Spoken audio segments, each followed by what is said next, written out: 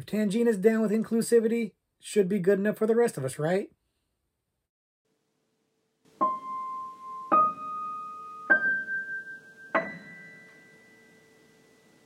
Hello, everybody, and welcome back to the Horror Movie Syllabus. My name is Professor Victor, and I'll be your host as we go through all of the essential, noteworthy, interesting, and notorious modern horror films. If you're new to the channel, I recommend you check out our introduction video. There's a link to that in the description below.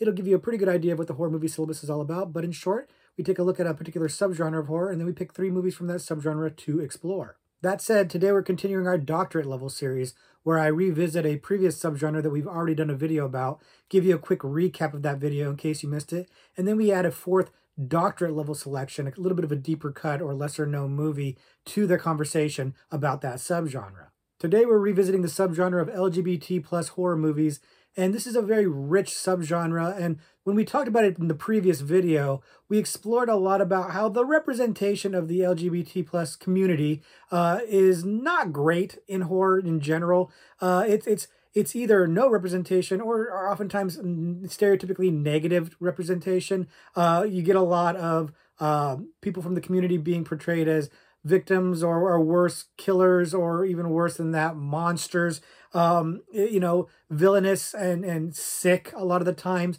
Uh, and you know, a lot of these are more dated movies, admittedly so, but uh, it is not a great representation by and large. And it seems noteworthy when you get positive portrayals or positive representations of that community. And those movies should be celebrated and looked at. And we do look at those movies, but we also want to talk about the ones that show the negative representation or show some of the negative attitudes towards this community.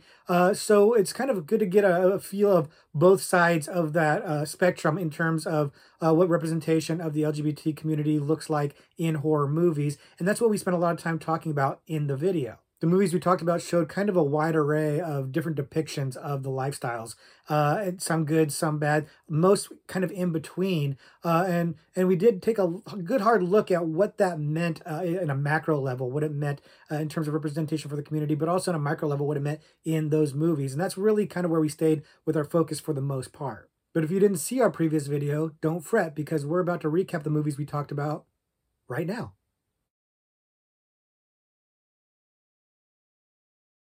The first movie that we talked about in the previous video was A Nightmare on Elm Street Part 2 Freddy's Revenge. And we talked about how we had already previously talked about it a bit when we talked about the original Nightmare on Elm Street movie. We kind of talked about the entire franchise, the entire series. So we had touched on part two already, but we felt like part two needed its own discussion here in the LGBT plus horror subgenre because it really is an interesting movie because of all of the gay subtext that is really basically text. It's it's pretty overt, especially nowadays. You look at it, and it seems very very obvious. Uh, and it, supposedly the, the the screenwriter of the movie did not think that he was being so obvious by putting this gay subtext in the movie, but he missed the mark on that. It's a really interesting detail that that got explored in the documentary made about Mark Patton, the the star of the movie. Uh, it's called uh, Scream Queen, uh, and it's really really good. Uh, we talked a bit about how it explored the kind of the impact of, of those subtextual images and scenes and whatnot that were in the movie and how they've kind of transformed this movie from a, a basically a rote slasher sequel into something of a, a, a celebrated gay movie. Uh, this movie has a bit of a reputation and that's why we wanted to talk about it separately on the syllabus on its own. The next movie that we talked about was Stranger by the Lake. And Stranger by the Lake is a, a, little bit of a lesser known movie, but a very high quality, really well reviewed and well regarded movie for those who have actually seen it. Uh, and it, it's kind of Hitchcockian in its uh, in its notion of being this thriller about you know gay men who go to this beach to hook up and one of them is is killing uh, other gay men. And so the idea of this man who meets another man who he's interested in but also might want to kill him is a really great potboiler type thriller movie that works extremely well but it is you know a hard watch for some people because of the the graphic depictions of sex and nudity in the movie which are pretty extreme. Uh, and we talked about that in the video along with how the portrayals of the community in this movie are both positive and negative. You've got the, the kind of the spectrum right in one movie you've got you know your literal villain a killer who is gay and you've got your protagonist who is gay and you've got other characters who are gay who are you know positive portrayals. It really is a wide range of depictions of people, which is great because it's really more realistic. You know, there are all kinds of people in the community, and this movie just treats you know gay people as just people. It's a refreshing take, uh, uh, especially for the time that this movie comes out, and it really is just a great movie. Uh, you know, setting aside the, the LGBT aspect of it, just a really, really well made, really good movie. So if you haven't seen it, you should check it out. Uh, but we did spend a lot of time talking about that one because I absolutely loved it. And the last movie that we discussed was Cruising, which, unlike Stranger by Lake, is a rather well known and notorious movie, rather controversial for its depiction of the community, uh, in particular the gay club scene and the, the BDSM community. Uh, really, really not a great portrayal of it. Uh, and, you know, it's made by William Friedkin and it stars Al Pacino, so it was meant to be somewhat mainstream, but it definitely wasn't a mainstream movie. Uh, and it's got a lot of risque stuff in there, although I have to admit, when I finally got around to seeing the movie, not as risque as I had thought it was going to be. And I talked about about that in the video. Uh, it really is uh, an interesting historical uh, lesson to learn from this movie and the attitudes about homosexuality at that time and the club scene in particular at that time and how uh, Friedkin was being uh, was being influenced by real life events that were going on and yet the community reacted very poorly to this. They protested it. We talked about all this in the video. We even talked about paul bateson uh, a real life gay serial killer who who was uh, connected to William Friedkin because he was in The Exorcist. It's a great story. You should go back to the other video and check it out. I won't retell it here. Uh, but the movie Cruising is notoriously uh, difficult to deal with uh, in terms of the portrayals of the community and uh, you know the message it's being sent in terms of depravity uh, uh, and and and and debauchery and things like that. That you know these these negative stereotypes. The negative stereotypes are on full display there.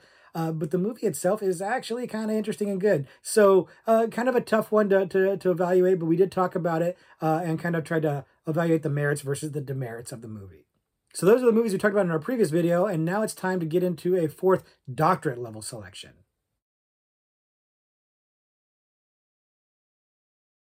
Our doctorate level selection is a movie called Spiral.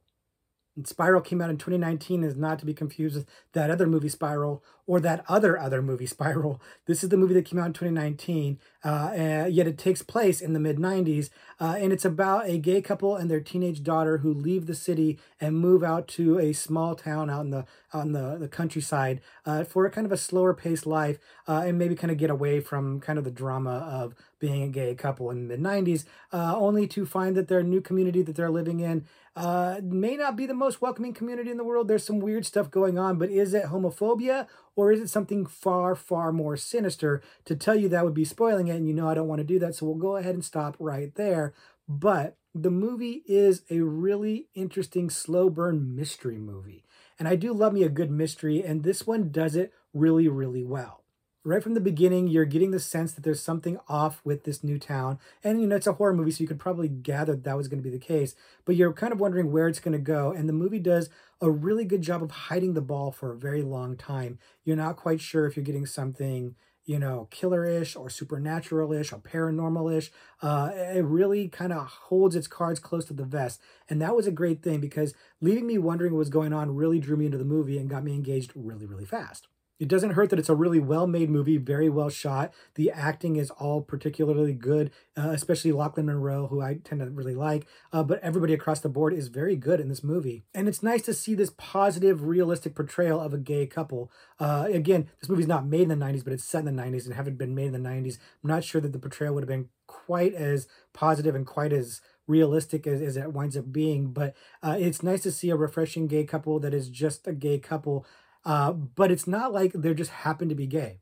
Their homosexuality is a key ingredient or key plot point of the movie because of this perceived homophobia in the town. Uh, again, it's not clear whether or not there's true homophobia or if one of the characters is being paranoid. And I really liked them taking that angle in the movie. But what it winds up doing is putting an interesting twist on homophobia.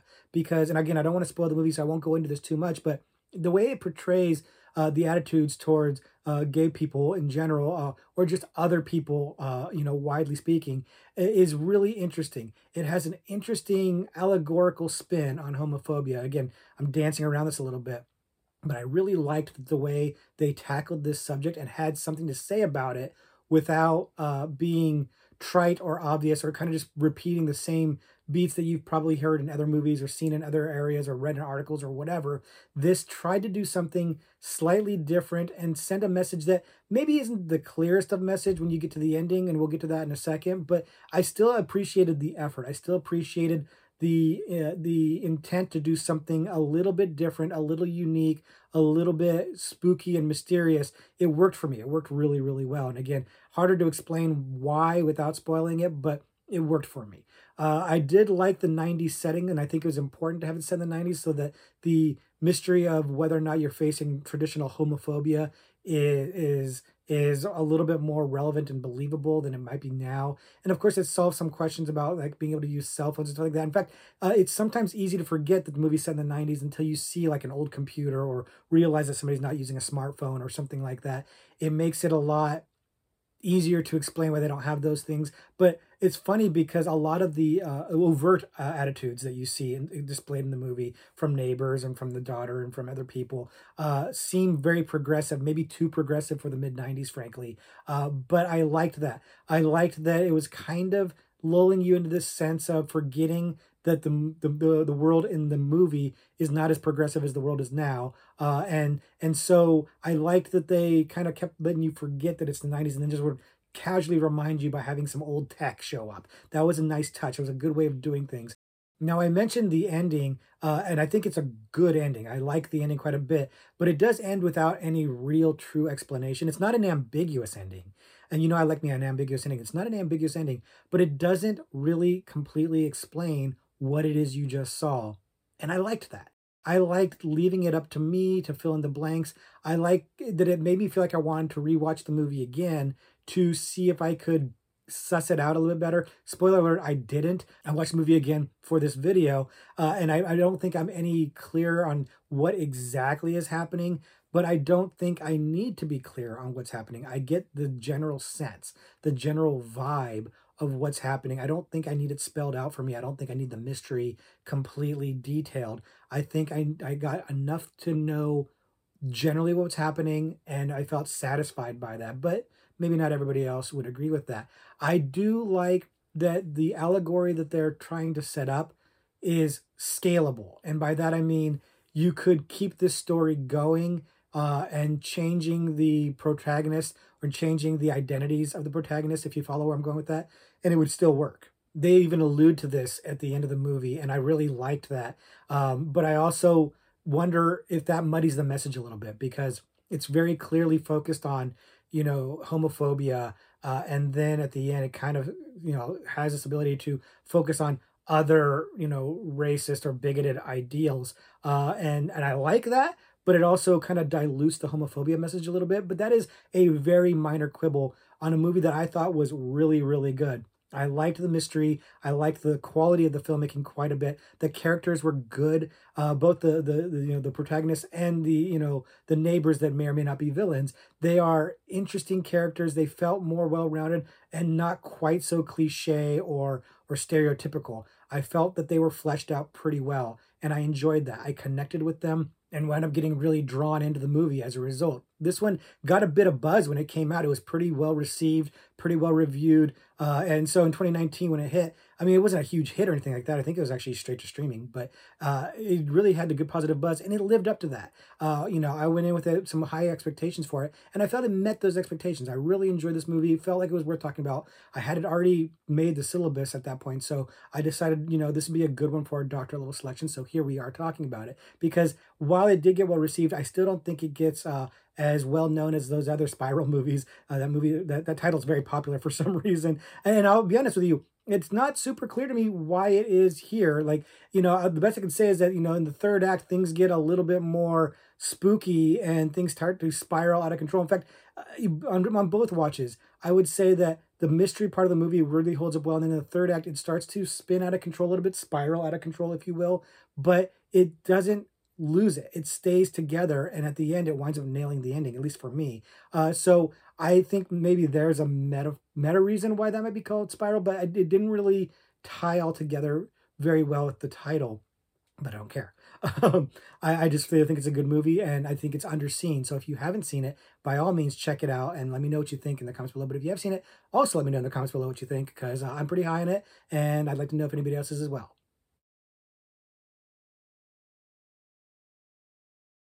So that's our doctorate level selection, but if you enjoy this subgenre, I've got an extra credit selection for you as well, and this one's really good too. This movie's called Butcher Baker Nightmare Maker. Butcher Baker Nightmare Maker came out in 1981 and is surprisingly well received uh, and well reviewed, at least nowadays. Maybe not so much when it originally came out, but there seems to be a lot more of a positive attitude about this movie and exploring the the the gay themes uh, that are in the movie uh, and and the ideas behind it and some of the representation of it, which has aged somewhat well, uh, all things considered. But we're going to get into that in just a minute. First, if you haven't seen it before, the movie is about a woman who takes care of her teenage nephew whose parents died in a car accident, and she is struggling with the idea of him leaving the home to go to college. She doesn't want him to leave, and she clearly has some mental health issues that need to be addressed, but she is getting more and more unstable as he gets closer and closer to leaving the house. And when a man comes and she winds up reacting poorly to him and killing him, claiming that he tried to rape her, uh, things get uh, really complicated as a homophobic cop starts to investigate and try to pin the crime on her nephew. And I'll stop there so as to not spoil it for you in case you haven't seen it, but the movie is kind of your stereotypical slasher movie, but also not. And the reason why is because of this, you know, this gay aspect to the movie. Specifically, there is a gay character in the movie. It's the basketball coach of your protagonist uh, boy, the nephew, uh, and he is portrayed really, really well. He's just a gay man. He's not uh, a villain. He's not a creep. He's not a pervert. He is just a man who who loves men. Uh, and he is the impetus for this uh, homophobic cop to start investigating.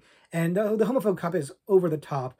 Uh, and over the top is kind of where the bread and butter is of this movie. This movie is quite a bit campy, and I think somewhat intentionally so, and it works really, really well. But I'll get back to that in a second.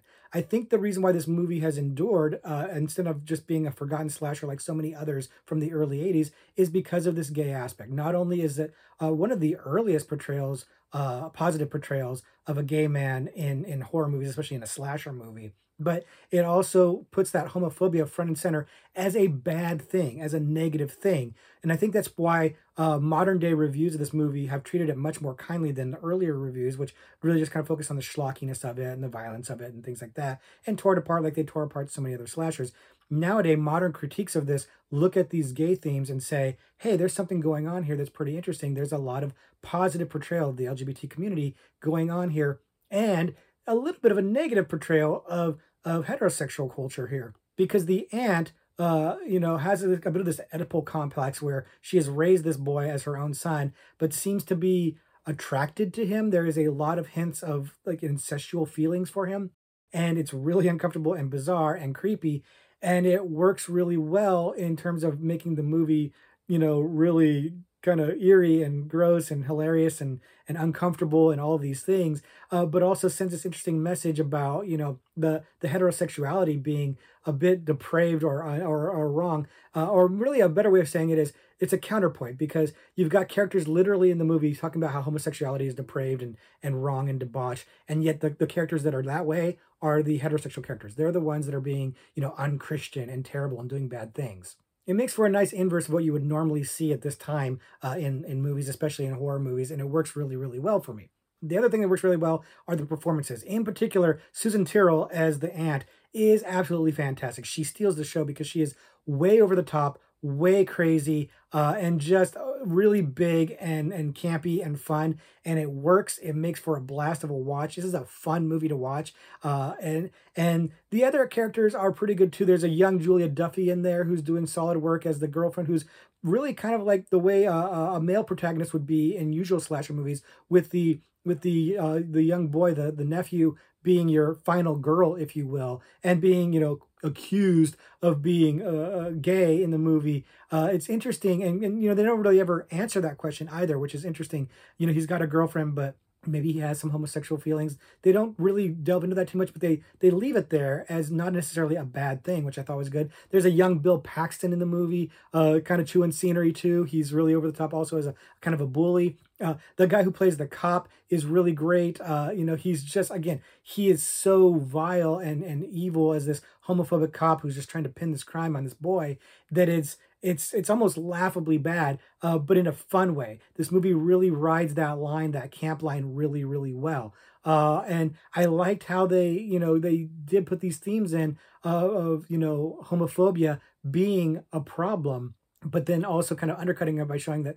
the heterosexuals in the movie are the ones that are the negative people, the bad people, the villains in the movie. Really interesting choice. Uh, that said, the movie's still also presenting a lot of gay stereotypes in a way that isn't necessarily debunked. You know, they're talking about how, you know, this boy was raised by women, uh, and maybe he's not as manly and stuff like that. And so uh, they're kind of reinforcing these these gay stereotypes that weren't really true, uh, but they're not really refuting them either. So there's a, a, question to be said about whether or not this is really that positive a portrayal uh, of the LGBT community, the gay community in particular. Um, but I'd say overall, I think it is just by virtue of having a, a gay couple in the movie that are not gross or terrible. Uh, you know, this, this gay uh, basketball coach is a really cool character. He winds up being really good. He doesn't get killed off. Spoiler alert, I suppose. But it's important to mention that, you know, a lot of things would happen with gay people in these movies they'd be killed like they were being punished for being gay or something. He doesn't die. I think that's important and noteworthy. I mean, I don't want to mislead you. It's not like this is the greatest movie ever. It's still, you know, kind of an exploitation slasher slasher movie from the early 80s. It's not, you know, super duper well made, but it's not boring. It's not, you know, bad quality. The acting is intentionally over the top and fun. Uh, it's a good time. It's a good ride, and I do think it's got a good positive message overall. So I definitely think this is one to check out. And if you haven't seen it, I would definitely recommend it. But if you have seen it, let me know what you think in the comments below because I'd like to know in particular. Do you think it's a positive portrayal, or do you think it still kind of falls into some of the negative tropes that came out around that time? Uh, I do think there's an argument to be made either way. So I'd like to hear your thoughts on the matter in the comments down below. So that's going to do it for our revisiting of the LGBT plus horror subgenre. Uh, like I said, there's a lot of great movies in, in this subgenre, and we really only kind of scratch the surface. So if you've got other ones that you can think of that I haven't talked about, leave them in the comments below for us to all look at and, and, and, and you know, maybe check out because there's so, so much that doesn't get enough shine or enough attention that it's hard to spotlight everything that needs to get spotlighted uh, in just the limited time that we have here. Speaking of time, it is time for us to do a horror trivia pursuit card. Uh, and as usual, I'm going to answer this question on camera so you can see whether or not I am cheating. And let's go ahead and go with the killer subgenre uh, or category on this card. Uh, and it's, you know, in honor of the Butcher Baker Nightmare Maker slasher movie. So we're going to do the killer category. And here's the question. What director made 1997's Funny Games and its shot-for-shot 2008 American remake? And I know the answer to this question. I know the answer to this question because we've talked about the the the Funny Games movie and the remake both on this channel. Uh, we've talked about how they are uh, basically shot for shot and how they are made by the same director. The director remade his own movie, uh, which is noteworthy. And uh, so, if you watch those videos, maybe you remember the name of this this director. I do. I'm not 100% sure how to pronounce his name. Uh, and I'm like 99.8% sure that I remember this because uh, he's also, we've also talked about him uh, elsewhere uh, on the syllabus too, although he did not have enough points to make it on our tour top 10 directors list that we did recently. Uh, so uh, there, take that for what it, for what it is. And he's not maybe one of the most mainstream or well known, but deep cut horror fans probably know the answer to this question. Obviously, I'm prattling on a little bit to give you an opportunity to think about it, but Hopefully you've got your answer because I'm about to make my guess right now. And my guess is Michael Haneke. And I'm not sure I'm pronouncing the name right, but I believe it's Haneke. Uh, Michael Haneke, who not only directed the Funny Games original movie and also the American remake of it, but he also directed the movie Caché, which is excellent. It's another movie we talked about uh, here on the syllabus. It's absolutely excellent. Haneke is a great director. He really has a good eye. He knows how to set a tone. He knows how to let a camera linger. He has great camera movements. I, I'm a big fan of what I've seen of his. I haven't seen all of his work, but what I've seen, very, very good. Uh, so Michael Haneke is my my answer. Let's check out the card and see if I am right. Michael Haneke, assuming that's how it's pronounced, That is the correct answer. Did you guys get it right? And if you didn't, who did you guess? Because I'd like to know who you guessed if you guessed wrong. Uh, but I'm glad I got that one right. I'm feeling pretty good about myself because I don't think that was the easiest question in the world, but I just happen to know that pretty well because of the research I've done for this channel. Making me smarter, hopefully making you guys smarter too. Hopefully you're enjoying this. If you stayed to the end, I appreciate it. Thank you very much. Until next week, class is missed.